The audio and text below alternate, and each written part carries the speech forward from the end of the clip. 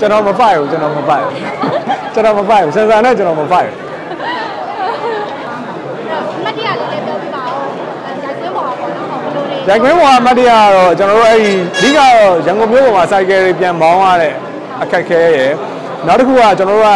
ကျွန်တော်တကယ်ထောင်အစ်စ်ကိုပြခြင်းတဲ့အတွက်ထောင်အစ်စ်ကိုရိုက်ပြခြင်းတဲ့အတွက်ဟို setting မျိုးမဟုတ်ဘဲနဲ့ထောင်အစ်စ်တွေကိုပြခြင်းတဲ့အတွက်ကြားလောင်အိမ်နဲ့ရိုက်ခဲ့တာပြိဿဆိုင်ရောကကြားလောင်အိမ်ထဲမှာရိုက်ခဲ့တယ်ဒါပေမဲ့ အဲ့ဒီဇက်ဝင်ကန်းတွေကဇက်ကားထဲမှာမပါလာတော့ဘူးပေါ့နော်ဟိုကျွန်တော်တို့ထောင်ထဲမှာတချင်းဆိုလို့မရဘူးဆိုတော့အမှတ်ချက်နဲ့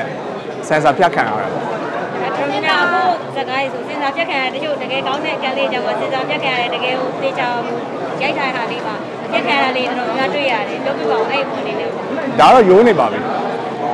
စစာနဲ့ပတ်သက်ပြီးတော့ဒါပညာရှင်တွေက fight နေရတယ်အများအားအဲ့လိုမျိုးရှိတာပေါ့နော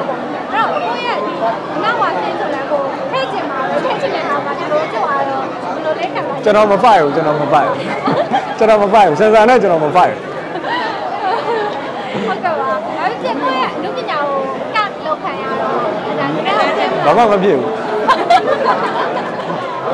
ဟို problem ဆိုတော့ပြောတယ်လေဒီကြားတော်ရင်းနဲ့သူဝင်ပြီးတော့ပေါ့နော်ကျုပ်ဆောင်ကတကယ်မရရအထဲနဲ့ဖြစ်ခဲ့တယ်ဆိုတော့တကယ်မပြောမကောင်းတဲ့ဆိုတော့တွေ့ရတယ်